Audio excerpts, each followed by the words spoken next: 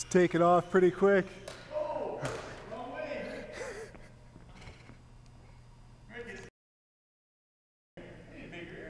Yeah, I might have to take it out to the field.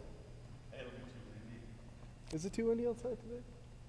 it looks it looks pretty dead today, actually. To tell you the truth, now the it might be a good day to. Okay, here we go.